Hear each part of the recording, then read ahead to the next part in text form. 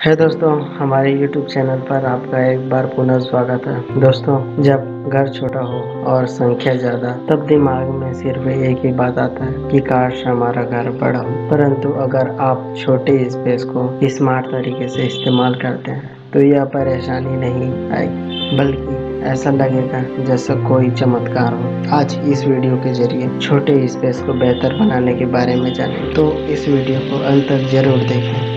तो देर किस बात चलिए शुरू करते हैं।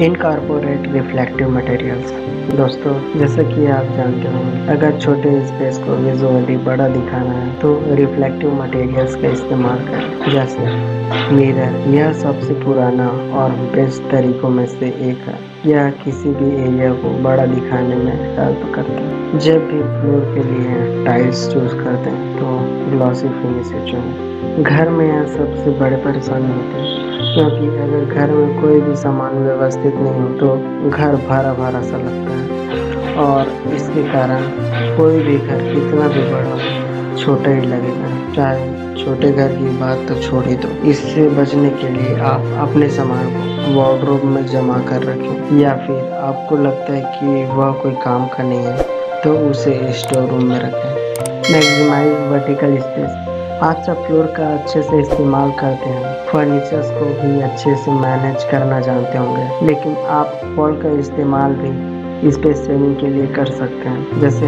wall mounted cabinet foldable beds bunk beds etcetera use the illusion of lighting यह घर को अधिक लाइटर और वाइट दिखाने में सबसे यूजफुल तरीका है। आप अपने घर में wall sconces overhead lighting fixtures का इस्तेमाल करें। अपने घर में लाइट और ब्राइट कलर का इस्तेमाल करें, साथ ही सीयर कर्टेन का उपयोग भी करें। यह नेचुरल लाइट्स को एंटर करने में मदद करे। Don't use bath tub unless it is necessary छोटे घरों में फोल्डेबल डाइनिंग टेबल का इस्तेमाल करना बेस्ट ऑप्शन है। स्टेयर के नीचे स्टोरेज दें। स्टैंडर्ड सोफा और आम चेयर के बजाय मॉड्यूलर सोफा का प्रयोग करें। घर में लॉफ्ट का उपयोग करना स्टोरेज के लिए सबसे अच्छा होगा। तो दोस्तों, अगर यह वीडियो आपको पसंद आया होगा तो इस वीडियो को लाइक करें और इस चैनल को सब्सक्राइब ज़रूर करें ताकि आप भी इंटीरियर डिज़ाइन से रिलेटेड वीडियो आप तक